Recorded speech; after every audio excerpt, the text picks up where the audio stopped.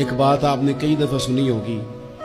मेरा बड़ा दिल करता है फिर से उसको दोहराऊं। मैंने उसे सैकड़ों बार पढ़ा है। जब तबीयत पूरी बेचैन होती है और अपनी जिम्मेदारियों का एहसास करने को दिल करता है ना तो फिर ख्याल आता है कि हम भी पढ़ें ज़रा इन चीज़ों को।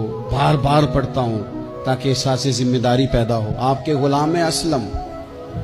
फरमाते हैं, रात को मैं और जनाब उमर निकले थे तो एक मकान में हमने देखा कि एक औरत ने ना, उसके बच्चे बार बार शोर कर रहे हैं और वो कुछ पका रही है, आवाज़ आ रही है। तो हज़रत उमर ने दरवाजे पे दस्तक दी। कौन है दरवाजे?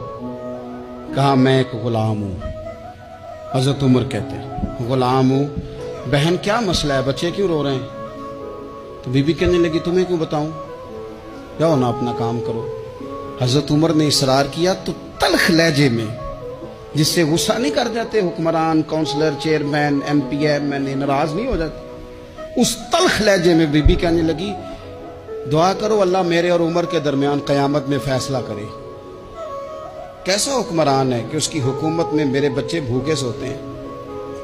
ये मैंने पानी में रोड़े डाल के चढ़ाए हैं, लेकिन ये पेट की भूख, ये बड़ी डडी होती है, ये नींद भी नहीं आने देती। ख्याल था रो दो के सो जाएँगे, पर सो भी नहीं रहे।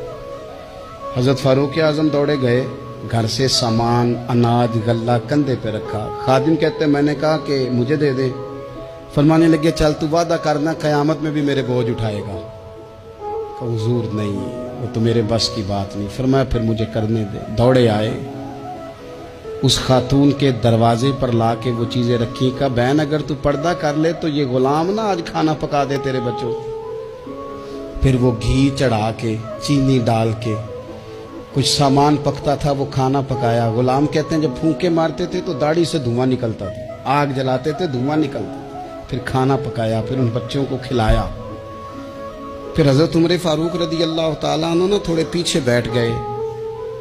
तो बच्चों के साथ इस तरह की बातें करने लगे कि वो हंस पड़े। जनाब असलम कहते हैं, बच्चे उस बेवा के हँसते थे, बच्चे हँसते थे, बच्चे हँसते थे और उमर रोते थे। जब वो हँसते थे तो फारूक रोते थे।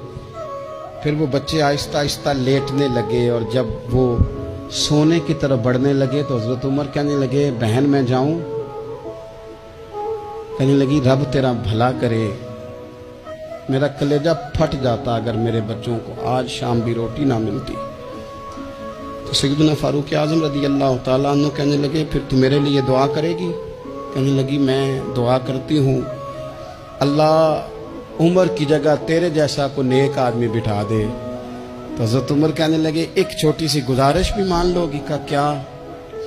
तो मानने लगे, कोई ये मेरी खिदमत अगर पसंद आई है तो उमर को माफ़ नहीं कर देती। गलती हो गई, उसे पता नहीं था। अपने मुँह से कहने लगे कहने लगे, सियाणा भी नहीं, बाशूर भी नहीं। उसे चाहिए था, खिलाफत की जिम्मेदारियाँ ना लेता। लेकिन हज़रत सिद्दीक ने कहा तो वो मान गया।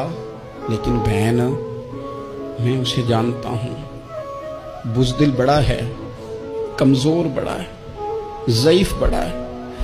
अगर तू कयामत में उसकी शिकायत लगाएगी तो बड़ा कमज़ोर पड़ जाएगा।